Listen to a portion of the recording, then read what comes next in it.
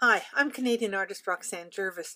I was doing a new technique with the acrylic paints and you will see as you look at this video that um, what I started with is totally opposite from what I finished with.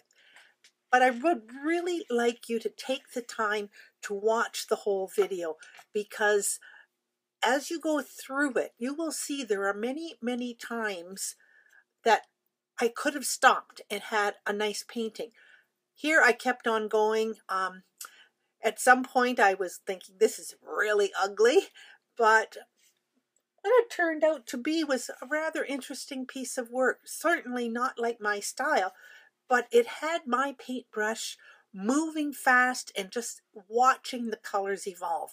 So please watch this whole video through if you have the time because you will find it quite interesting. And what I would really like you to do is if there's a point in the video when this piece is evolving, look at the time on the clock and then just put what time it was that you thought I should have stopped the painting. I'd like to see how many people will actually um, take the time to analyze what's happening with the work as it progresses. And uh, have some fun painting when you have no idea where you're going with it. Um, the painting that I finished called The Last Maple Key actually is sitting here on the table. When we started that painting, I was using this new technique and it didn't work out. I didn't like how the colors worked, so I took a brush and blended all the colors together and created a different painting out of it. So today I'm going to try again using a different method. The method that one had was taking the paint right out of the tube and it was just far too dense. So I've taken a container here and put a little bit of water in each of these little cups and I've got some of these coffee stir sticks and I'm going to just thin the paint down a wee bit in order to make it more not so not so intense. I've, I've mixed these paints now with a little bit of water and I learned something from the last time that I had put the dark too many dark paints on and I should have put more lights on so that when the darks blend with it. I've put a variation of reds, oranges, and yellows because I think they look nice and I've got a dark ultramarine blue here to punch in some of the dark tones and I'm going to see if I can do it by putting some of the paint on with a stick and I'm going to just try and make sure that I don't have a line dead center vertically or dead center horizontally. horizontally. Now that looks like it's got way too much water in it for the amount of paint.